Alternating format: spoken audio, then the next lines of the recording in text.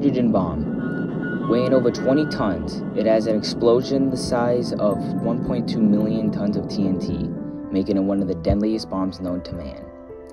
It is so powerful, in fact, that if one was detonated in Detroit, the effects would be felt all the way to Canton. But why was this bomb constructed? And why would anybody need a bomb as powerful as this one? These are questions that will take us down a long and unknown journey through time, from the beginnings of Hiroshima to the deadliest arms race known to man. This is the Super.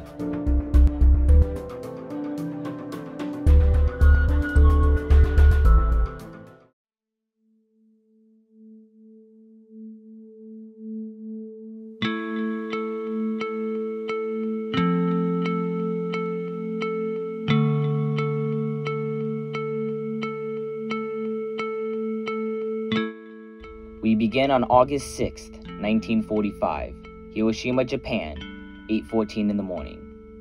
The sun began to rise above the city as it always had for over three and a half centuries. The people of Hiroshima were waking up to the start of the new week of work and school. However, none of them knew that they only had a minute left to live. After the bombing of Hiroshima and Nagasaki on August 6th and 9th, Japan surrendered to the US and ended the Second World War. The nukes dropped on Hiroshima and Nagasaki killed over 200,000 people, both having the power of 20,000 tons of TNT. This was the first and still to this day the only time nuclear warfare has been used during war. America was now the unrivaled superpower of the world, but that title would soon be put into question a few years later. During the war, the Soviet Union fought on the same side as the Allies in defeating Germany, and even though both sides supported opposing political and economic views, they were considered to be on good terms. Of course, this did not stop Stalin from spying on their allies. Harriet Truman told Stalin about the US's atomic bombs, but Stalin already knew, as he had had spies in the US's intelligence since 1944, with Klaus Fuchs, a physicist who worked in Los Alamos, assisting in the bomb building project for the United Kingdom. Of course, Stalin was still not pleased that the US had this much power over the world. He wanted the USSR to hold the same power, if not more, than what the US held. And so, by the summer of 1949, the Soviets officially made their own nuclear bomb. The construction of the Soviets' own atomic bomb would end up evening the playing field between the two superpowers and would be one of the beginning causes of the Cold War.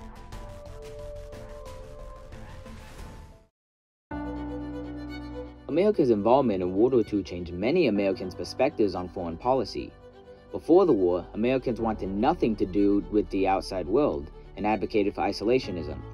However, after Japan bombed Pearl Harbor, many Americans decided that America should get involved in world affairs.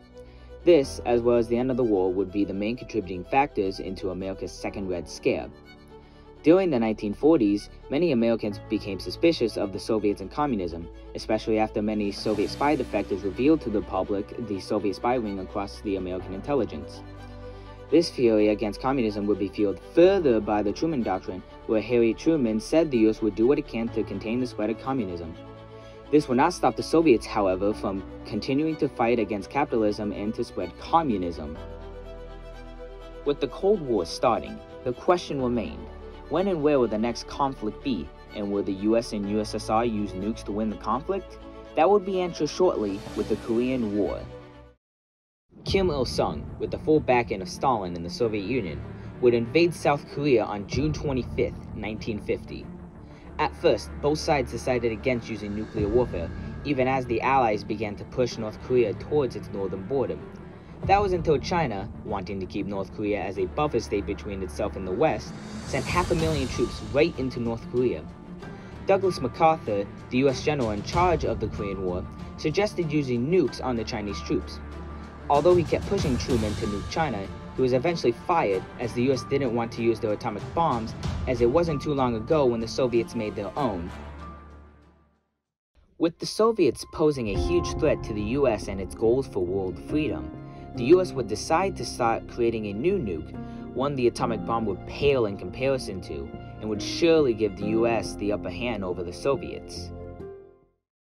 In October of 1949, the Atomic Energy Commission scientists needed to make a firm decision on whether they should develop the H bomb or not. They finally asked Robert Oppenheimer, the scientific director of the Manhattan Project.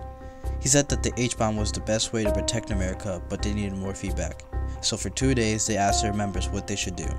After those two days, they decided that uranium plutonium stores should be bought for the production on more atomic bombs instead of the H bomb because they said it would be really unstable and cause havoc on any place it drops on. Even after saying that, they still decided to develop the H bomb. They finally finished it in 1951 and they planned to test a year after. October 31st, 1952, they detonated their first H bomb called the Mike test on a small island apart from Enewetak Atoll. This island was taken by Japan from the US during World War II to be used as a nuclear testing site. As for the people, they were moved elsewhere to avoid any casualties. After this, they decided to test more bombs on the island. On March 1, 1954, the Bravo bomb was dropped. It was as powerful as 15 megatons, a thousand times more powerful than the atomic bomb that hit Hiroshima. It was the largest bomb test in the world. It completely changed the scientists' minds because of how successful they were on creating a nuclear weapon. After the Soviets caught wind of what America was doing through their spy network, they decided to develop their own H-bomb. Just a few days after the US dropped their first H-bomb, the Soviet spy Lavrenti Beria asked his scientists how their layer cake was doing. The layer cake was the Soviets design for the first H-bomb and consists of opposing layers containing light elements like deuterium and deuterium, with the only heavy layers being the isotope for uranium. A person who worked the most on H-bomb, who is also considered to be the father of the H-bomb, was Andrei Sakharov. He is a Soviet physicist who was very excited to make the H-bomb, ever since the dropping of the atomic bomb. They recruited him to work on the bomb in the summer of 1948. Since they were going through with making the H-bomb, they decided to expand their facilities in order to help the production of the H-bomb. Before they finished their H-bomb, the US came to Russia so that they would both stop producing nuclear weapons. But Russia quickly ignored, them and continued production of their H-bomb. Less than a year after the drop of the first H-bomb from the US, Russia dropped their first H-bomb on August 12, 1953 on an island called Bikini the construction of hydrogen bombs led to what is now known as the arms race. This was a nuclear arms race where both the US and the USSR would try to create more nuclear weapons than one another, as well as making the bombs more destructive. These new dangerous hydrogen bombs almost proved costly to the US on January 24, 1961, when a B 52 carrying two W 39 hydrogen bombs crashed in Goldsboro, North Carolina. Although none of the bombs went off, the incident showed the US how careful they had to be with these new weapons. Nine months later, on October 30th, the USSR would detonate the largest bomb ever created, the Tsar Bomba, detonated on the island Novaya Zemlya. It had an explosion on the size of 50 million tons of TNT. This explosion was so big that glass windows shattered all the way to Sweden. Even though there was no bomb ever made to be powerful than this one, the true climax of the arms race would come a year later on October 16, 1962, with the start of the Cuban Missile Crisis. Cuban Missile Crisis was a 13-day long proxy war between the US and the USSR that began when Soviet missiles were located in Cuba by US spy planes. Tensions between the two powers were at an all-time high, and it is believed that this was most likely the chance throughout the whole Cold War where the world was on the verge of nuclear warfare. Luckily, however, on October 29th, the US and the USSR made an agreement where the Soviets will remove their missiles from Cuba if the US removes their missiles from Turkey. Through the crisis, both the US and the USSR realized the level of their immense strength, and for the rest of the Cold War, they decided to only aid foreign nations who supported their interest.